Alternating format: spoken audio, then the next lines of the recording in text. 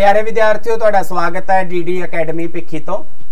PS TET, Punjab ਅਧਿਆਪਕ ਯੋਗਤਾ test, ਜੋ ਕਿ ਖਾਸ ਤੌਰ ਦੇ ਉੱਤੇ ਪੰਜਾਬ ਸਰਕਾਰ ਦੁਆਰਾ ਲਿਆ ਜਾਂਦਾ ਹੈ, ਜੋ ਕਿ ਹਰ ਇੱਕ ਅਧਿਆਪਕ ਦੇ ਲਈ ਐਲੀਜੀਬਲ ਹੋਣਾ ਲਾਜ਼ਮੀ ਹੈ। ਇਸੇ ਆਧਾਰ ਦੇ ਨਾਲ ਪੰਜਾਬੀ ਵਿਸ਼ਾ ਜਿਹੜਾ ਹੈ ਜਿਸ ਦੇ ਲਈ 30 ਨੰਬਰ ਦੇ ਜਿਹੜੇ ਰਾਖਵੇਂ ਪ੍ਰਸ਼ਨਾਵਲੀ ਜਿਹੜੇ ਰੱਖੇ ਗਏ ਨੇ, ਜੋ ਕਿ ਕੋਰਸ ਦੇ ਅਕੋਰਡਿੰਗ ਪੰਜਾਬੀ ਵਿਆਕਰਣ ਤੇ ਪੰਜਾਬੀ ਪੈਡਾਗੋਜੀ ਦੇ ਵਿੱਚੋਂ ਪ੍ਰਸ਼ਨ ਪੁੱਛੇ ਜਾਣੇ ਨੇ। ਉਹਨਾਂ ਦੇ ਆਧਾਰ ਦੇ ਉੱਤੇ ਹੀ ਤੁਹਾਡੇ ਨਾਲ ਬਹੁ ਵਿਕਲਪੀ ਪ੍ਰਸ਼ਨ ਲੈ ਕੇ ਅਸੀਂ ਆਏ ਆ ਤਾਂ ਕਿ ਵਿਦਿਆਰਥੀ ਜਿਹੜੇ ਆ, ਇਹਨਾਂ ਦੇ ਰਾਹੀਂ ਪੂਰੀ ਤਰ੍ਹਾਂ ਨਾਲ ਆਪਣੀ ਤਿਆਰੀ ਜਿਹੜੀ ਹੈ, ਪਰਿਪੂਰਨ ਰੂਪ ਵਿੱਚ ਕਰ ਸਕਣ। ਡੀਡੀ ਅਕੈਡਮੀ ਦਾ ਇਹ ਮੁੱਖ ਮਕਸਦ ਜਿਹੜਾ YouTube ਦੇ ਰਾਹੀਂ ਤੁਹਾਡੇ ਨਾਲ ਰੂਬਰੂ ਕਰ ਰਹੇ ਨੇ। ਤਾਂ ਵੱਧ ਤੋਂ ਵੱਧ ਵਿਦਿਆਰਥੀ ਜਿਹੜੇ ਆ, ਇਸ ਚੈਨਲ ਨੂੰ ਸ਼ੇਅਰ ਅਪ ਜ਼ਰੂਰ ਕਰੋ, ਸਬਸਕ੍ਰਾਈਬ ਕਰਨਾ ਨਾ ਭੁੱਲੋ। ਬੈਲ ਆਈਕਨ ਨਾ ਦਬਾਉਣਾ ਭੁੱਲੋ ਤਾਂ ਕਿ ਆਉਣ ਵਾਲੇ ਨੋਟੀਫਿਕੇਸ਼ਨ ਦੀ ਜਾਣਕਾਰੀ ਜਿਹੜੀ ਹੈ ਤੁਹਾਨੂੰ ਇਸ ਚੈਨਲ ਦੇ ਰਾਹੀਂ ਪਤਾ ਲੱਗ ਸਕੇ। ਤਾਂ ਵੱਧ ਤੋਂ ਵੱਧ ਵਿਦਿਆਰਥੀ ਜਿਹੜੇ ਆ ਇਸ ਦਾ ਲਾਹਾ ਲੈਂਦੇ ਹੋਏ, ਸਮਾਂ ਨਾ ਜਾਇਆ ਗਵਾਉਂਦੇ ਹੋਏ, ਇੱਕ ਜੁਟਤਾ ਦੇ ਨਾਲ, ਇਕਾਗਰਤਾ ਦੇ ਨਾਲ ਇਹਨਾਂ ਪ੍ਰਸ਼ਨਾਵਲੀ ਨੂੰ ਸੁਣੋ ਤੇ ਇਸ ਦਾ ਆਨੰਦ ਮਾਣੋ।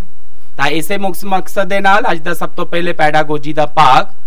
ਪਹਿਲਾ ਕੁਐਸਚਨ ਹੈ ਜੀ, ਭਾਸ਼ਾ ਸਿੱਖਿਆ ਦੇ ਪੱਧਰਾਂ ਵਿੱਚ, ਹੇਠ ਲਿਖਿਆਂ ਵਿੱਚ ਕਿਹੜਾ ਸ਼ਾਮਿਲ ਹੈ?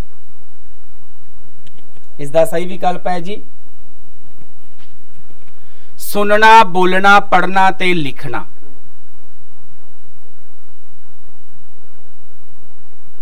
ਅੱਗੇ ਹੈ ਜੀ, ਚੰਗੀ ਬੋਲਚਾਲ ਦੇ ਗੁਣਾ ਵਿੱਚ, ਹੇਠ ਲਿਖਿਆ ਵਿੱਚੋਂ ਕਿਹੜਾ ਸ਼ਾਮਿਲ ਹੈ? ਚੰਗੀ ਬੋਲਚਾਲ ਦੇ ਵਿੱਚੋਂ, ਹੇਠ ਲਿਖਿਆ ਚੋਂ ਕਿਹੜਾ ਸ਼ਾਮਿਲ ਹੈ? ਭਾਸ਼ਾ ਦੀ ਸ਼ੁੱਧਤਾ ਤੇ ਉਪਰੋਕਤ ਸਾਰੇ ਬੋਲਚਾਲ ਵਿੱਚ ਸਰਲਤਾ ਤੇ ਬੋਲਚਾਲ ਵਿੱਚ ਸਪਸ਼ਟਤਾ। ਕੁਐਸਚਨ ਨੰਬਰ 3 ਵਿਆਕਰਨ ਦਾ ਕੀ ਅਰਥ ਹੈ ਵਿਆਕਰਨ ਦਾ ਕੀ ਅਰਥ ਹੈ ਵਿਆਕਰਨ ਦਾ ਅਰਥ ਹੈ ਵਿਸ਼ਲੇਸ਼ਣ ਕਰਨਾ ਵਿਆਕਰਨ ਦਾ ਅਰਥ ਹੈ ਵਿਸ਼ਲੇਸ਼ਣ ਕਰਨਾ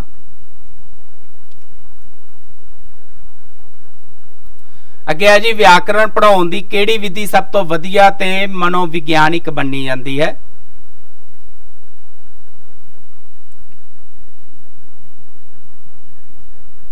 ਵਿਆਕਰਣ ਪੜਾਉਣ ਦੀ ਕਿਹੜੀ ਵਿਧੀ ਸਭ ਤੋਂ ਵਧੀਆ ਤੇ ਮਨੋਵਿਗਿਆਨਿਕ ਵਿਧੀ ਮੰਨੀ ਜਾਂਦੀ ਹੈ? ਉਹ ਹੈ ਜੀ ਪ੍ਰਮਾਣ ਵਿਧੀ। ਸ਼ੁੱਧ ਉਚਾਰਨ ਲਈ ਬੱਚਿਆਂ ਨੂੰ ਕਿਸ ਦਾ ਗਿਆਨ ਦੇਣਾ ਚਾਹੀਦਾ ਹੈ? ਸ਼ੁੱਧ ਉਚਾਰਨ ਲਈ ਬੱਚਿਆਂ ਨੂੰ ਧੁਨੀ ਗਿਆਨ ਦੇਣਾ ਚਾਹੀਦਾ, ਧੁਨੀਆਂ ਦਾ ਵਿਗਿਆਨ ਦੇਣਾ ਚਾਹੀਦਾ। ਪੰਜਾਬੀ ਭਾਸ਼ਾ 'ਚ ਸੁਧਾਰ ਲਿਆਉਣ ਲਈ ਸਕੂਲ ਵਿੱਚ ਕੀ ਹੋਣਾ ਚਾਹੀਦਾ ਹੈ? ਪੰਜਾਬੀ ਭਾਸ਼ਾ ਵਿੱਚ ਸੁਧਾਰ ਲਿਆਉਣ ਲਈ ਸਕੂਲ ਵਿੱਚ ਕੀ ਹੋਣਾ ਚਾਹੀਦਾ ਹੈ? ਭਾਸ਼ਾ ਪ੍ਰਯੋਗਸ਼ਾਲਾ। ਭਾਸ਼ਾ ਦੁਆਰਾ ਵਿਚਾਰਾਂ ਦਾ ਆਦਾਨ ਪ੍ਰਦਾਨ ਕਿਵੇਂ ਕੀਤਾ ਜਾਂਦਾ ਹੈ? ਇਸ ਦਾ ਸਹੀ ਵਿਕਲਪ ਹੈ ਜੀ, ਬੋਲ ਕੇ, ਸੁਣ ਕੇ, ਲਿਖ ਕੇ ਤੇ ਪੜ੍ਹ ਕੇ। ਭਾਸ਼ਾ ਸਿੱਖਿਆ ਦਾ ਉਦੇਸ਼ ਕੀ ਹੈ? ਭਾਸ਼ਾ ਸਿੱਖਿਆ ਦਾ ਮੁੱਖ ਉਦੇਸ਼ ਹੈ ਭਾਸ਼ਾ ਦੇ ਸਾਰੇ ਕੌਸ਼ਲਾਂ 'ਚ ਨਿਪੁੰਨ ਹੋਣਾ ਐਕਸਪਰਟ ਹੋਣਾ। ਵਿਆਕਰਣ ਦੇ ਗਿਆਨ ਦੀ ਪਰਖ ਦੁਆਰਾ ਬੱਚਿਆਂ ਅੰਦਰ ਕਿਹੜੀ ਯੋਗਤਾ ਪੈਦਾ ਹੁੰਦੀ ਹੈ? ਵਿਆਕਰਣ ਦੁਆਰਾ ਭਾਸ਼ਾ ਦੇ ਸ਼ੁੱਧ ਤੌਰ ਤੇ ਵਰਤੋਂ ਕਰਨ ਦੇ ਢੰਗਾਂ ਦੀ ਜਿਹੜੀ ਸ਼ੁੱਧਤਾ ਤੇ ਯੋਗਤਾ ਪੈਦਾ ਹੁੰਦੀ ਹੈ।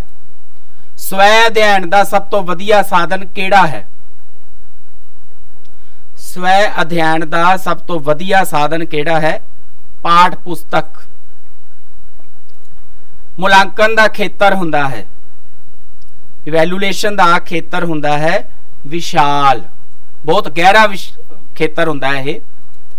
ਹੇਠ ਲਿਖਿਆ ਜੋ ਕਿਹੜਾ ਬੁੱਧੀ ਦਾ ਸੰਰਚਨਾ ਅਤੇ ਉਸ ਦੀਆਂ ਮੂਲ ਤਹਾਂ ਦੇ ਪਸਾਰਾਂ ਦਾ ਮੁਲਾਂਕਣ ਕਰਦਾ ਹੈ।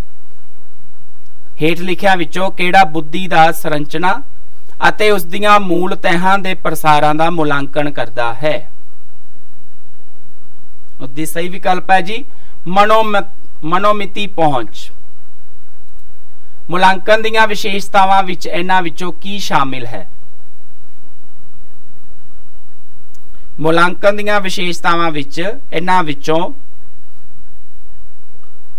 ਗੁਣਾਤਮਕਤਾ ਤੇ ਪਰਿਮਾਣਕਤਾ ਦੋਨੋਂ ਹੀ ਸ਼ਾਮਿਲ ਹਨ। ਇਹਨਾਂ ਵਿੱਚੋਂ ਕਿਹੜਾ ਵਿਕਲਪ ਪ੍ਰਗਤੀਸ਼ੀਲ ਵਿਦਿਆ ਦਾ ਲੱਛਣ ਦਰਸਾਉਂਦਾ ਹੈ? ਪ੍ਰਗਤੀਸ਼ੀਲ ਵਿਦਿਆ ਦਾ ਲੱਛਣ ਦਰਸਾਉਂਦਾ ਹੈ। ਇਸ ਦਾ ਸਹੀ ਵਿਕਲਪ ਹੈ ਲਗਾਤਾਰ ਮੁਲਾਂਕਣ। ਕਿਹੜਾ ਸਿੱਖਿਆ ਪ੍ਰਾਪਤੀ ਘਟਨਾ ਦਾ ਤੱਤ ਨਹੀਂ ਹੈ?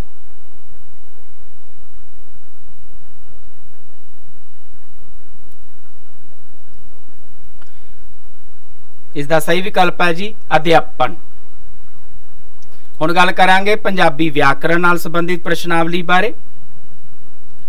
ਸਰਕਾਰੀ ਚਿੱਠੀ ਦੇ ਅੰਤ ਵਿੱਚ ਹੇਠ ਲਿਖਿਆ ਕੁਝੋਂ ਕਿਹੜਾ ਸ਼ਬਦ ਨਹੀਂ ਲਿਖਿਆ ਜਾਂਦਾ?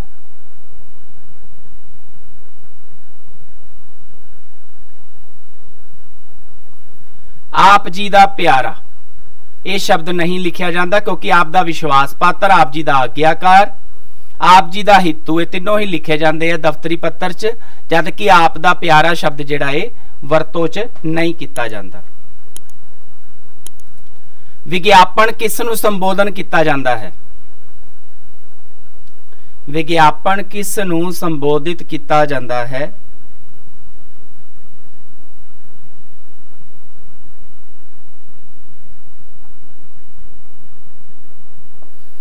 ਵਿਗਿਆਪਨ ਜਿਹੜਾ ਜਿਸ ਕਿਸੇ ਨੂੰ ਵੀ ਸੰਬੋਧਿਤ ਕੀਤਾ ਹੋਵੇ,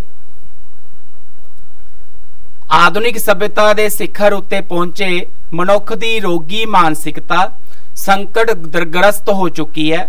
ਇਸ ਦਾ ਵੱਡਾ ਕਾਰਨ ਸਭਿਅਤਾ ਅਤੇ ਸੰਸਕ੍ਰਿਤੀ ਵਿਚਕਾਰ ਨਿਤ ਵੱਧਦਾ ਹੋਇਆ ਪਾੜਾ ਹੈ, ਜਿਹੜਾ ਅਜੋਕੇ ਸਰਮਾਏਦਾਰੀ ਯੁੱਗ ਵਿੱਚ ਮਨੁੱਖ ਦੀ ਹੋਣੀ ਦਾ ਘਾੜਾ ਬਣ ਗਿਆ ਹੈ। ਮਨੁੱਖ ਜੀਵਨ ਦੀਆਂ ਜ਼ਿੰਮੇਵਾਰੀਆਂ ਤੋਂ ਕੰਨੀ ਕਤਰਾਉਣ ਲੱਗ ਪਿਆ ਹੈ। ਮਸ਼ੀਨ ਮਨੁੱਖ ਦੀ ਦਾਸੀ ਹੁੰਦੀ ਸੀ, ਪਰ ਹੁਣ ਇਹ ਮਨੁੱਖ ਦੀ ਮਾਲਕਨ ਬਣ ਗਈ ਹੈ। ਇੱਥੋਂ ਤੱਕ ਕਿ ਮਨੁੱਖ ਖੁਦ ਮਸ਼ੀਨ ਦਾ ਨਿਰਜਿੰਦ ਕਲ ਪੁਰਜਾ ਹੋ ਕੇ ਰਹਿ ਗਿਆ ਹੈ। ਉਪਰੋਕਤ ਪੈਰੇ ਦਾ ਹੇਠ ਲਿਖਿਆਂ ਵਿੱਚੋਂ ਕਿਹੜਾ ਸਿਰਲੇਖ ਟੁਕਮਾ ਹੈ? ਇਸ ਦਾ ਸਹੀ ਵਿਕਲਪ ਕੀ ਹੋਏਗਾ?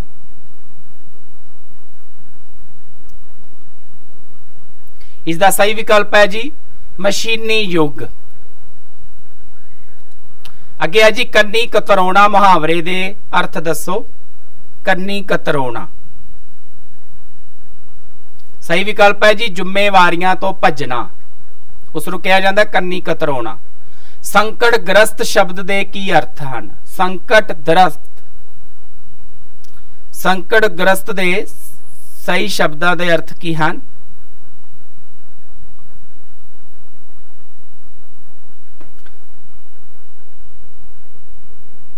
ਦੁੱਖਾਂ ਵਿੱਚ ਘਿਰਿਆ ਹੋਇਆ। ਭਾਸ਼ਾ ਕਿੱਥੋਂ ਗ੍ਰਹਿਣ ਕੀਤੀ ਜਾਂਦੀ ਹੈ? ਭਾਸ਼ਾ ਕਿੱਥੋਂ ਗ੍ਰਹਿਣ ਕੀਤੀ ਜਾਂਦੀ ਹੈ? ਸਮਾਜ ਵਿੱਚੋਂ। ਪੰਜਾਬੀ ਭਾਸ਼ਾ ਦੀ ਦੰਤੀ ਧੁਨੀਆਂ ਕਿਹੜੀਆਂ ਹਨ? ਜਿਨ੍ਹਾਂ ਧੁਨੀਆਂ ਦਾ ਉਚਾਰਨ ਸਮੇਂ ਉੱਪਰਲੇ ਦੰਦਾਂ ਨਾਲ ਜੀਭ ਦੀ ਨੋਕ ਟਕਰਾਉਂਦੀ ਹੈ ਤਾਂ ਮੂੰਹ ਚੋਂ ਹਵਾ ਬਾਹਰ ਨਿਕਲਦੀ ਹੈ ਤੇ ਉਚਾਰਨ ਹੁੰਦਾ ਤੱਤਾ, ਥੱਥਾ, ਦੱਦਾ, ਧੱਦਾ। ਦੰਤੀ ਵਿਅੰਜਨ ਕਿਹਾ ਜਾਂਦਾ ਇਹਨਾਂ ਨੂੰ।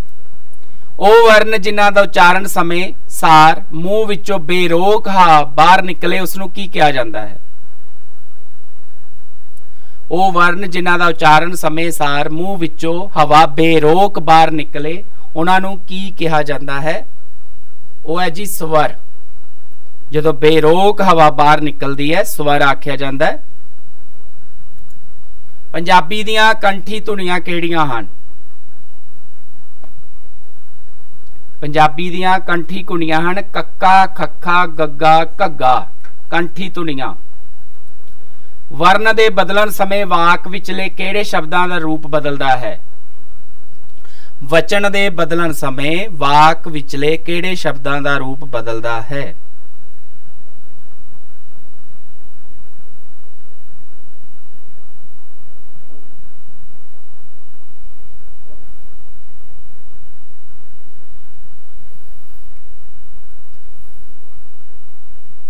ਵਿਸ਼ੇਸ਼ਣ ਅਤੇ ਕਿਰਿਆ ਦਾ। ਇਸ ਦਾ ਸਹੀ ਵਿਕਲਪ ਹੈ। ਕਿਹੜਾ ਸ਼ਬਦ ਅਗੇਤਰ ਨਾਲ ਬਣਿਆ ਹੈ? ਕਿਹੜਾ ਸ਼ਬਦ ਅਗੇਤਰ ਨਾਲ ਬਣਿਆ ਹੈ? ਪਰਦੇਸ। ਕਿਹੜੇ ਸ਼ਬਦ ਨਾਲ ਪਿਛੇਤਰ ਨਹੀਂ ਲੱਗਿਆ ਹੋਇਆ?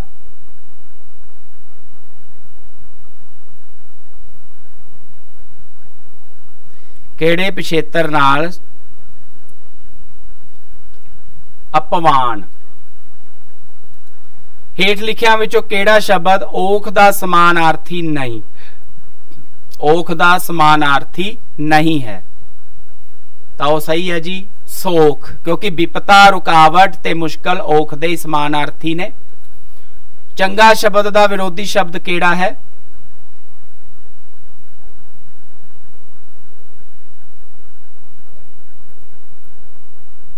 ਚੰਗਾ ਦਾ ਮੰਦਾ। ਹੇਠ ਲਿਖੇ ਵਾਕਾਂ ਵਿੱਚੋਂ ਕਿਹੜਾ ਸ਼ਬਦ ਬਹੁ ਅਰਥੀ ਹੈ? ਸੱਚੇ ਬੱਚੇ ਨੂੰ ਸੰਗ ਕਾਦੀ ਸੱਚੇ ਬੰਦੇ ਦਾ ਸੰਗ ਕਰੋ। ਇਸ ਦੇ ਵਿੱਚੋਂ ਬਹੁ ਅਰਥੀ ਸ਼ਬਦ ਕਿਹੜਾ ਹੈ?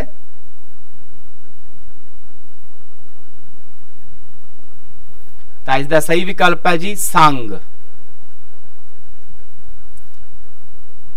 ਤਾਂ ਇਹ ਸੀ ਪਿਆਰੇ ਵਿਦਿਆਰਥੀਓ, ਤੁਹਾਡੇ ਰੂਬਰੂ ਪੂਰਨ ਤੌਰ ਉਤੇ ਅੱਜ ਦਾ ਇਹ 10ਵਾਂ ਲੈਕਚਰ, ਜਿਹਦੇ ਰਾਹੀਂ ਤੁਹਾਡੇ ਨਾਲ ਬਹੁ ਵਿਕਲਪੀ ਪ੍ਰਸ਼ਨਾਵਲੀ ਬਾਰੇ ਵਿਚੇਰ ਵਿਚਾਰ ਚਰਚਾ ਜਿਹੜੀ ਸਾਂਝੇ ਪੱਧਰ ਤੇ ਕੀਤੀ।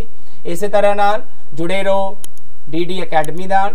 ਆਉਣ ਵਾਲੇ ਅਧਿਆਇਆਂ ਵਿੱਚ ਤੁਹਾਡੇ ਨਾਲ ਅੱਗੇ ਜਾ ਕੇ ਅਸੀਂ ਪੈਡਾਗੋਜੀ ਤੇ ਪੰਜਾਬੀ ਗ੍ਰਾਮਰ ਦੇ ਅਗਲੇ ਪ੍ਰਸ਼ਨਾਵਲੀ ਲੈ ਕੇ ਆਵਾਂਗੇ। ਇਹਨਾਂ ਸ਼ਬਦਾਂ ਦੇ ਨਾਲ ਤਹਿ ਦਿਲੋਂ ਧੰਨਵਾਦ। ਹਾਂਜੀ ਕਲਾਸ ਕਵਰ ਹੋਈ ਤੁਹਾਡੀ। ਹੋਪਸ ਹੋਈ ਕਲਾਸਿਸ ਹੈ ਜਿਹੜੀਆਂ ਤੁਹਾਡੇ ਪੀਐਸਟੈਟ ਪ੍ਰੈਪਰੇਸ਼ਨ ਦੇ ਵਿੱਚ ਤੁਹਾਨੂੰ ਕਾਫੀ ਜ਼ਿਆਦਾ ਫਾਇਦਾ ਕਰ ਰਹੀਆਂ ਹੋਣਗੀਆਂ।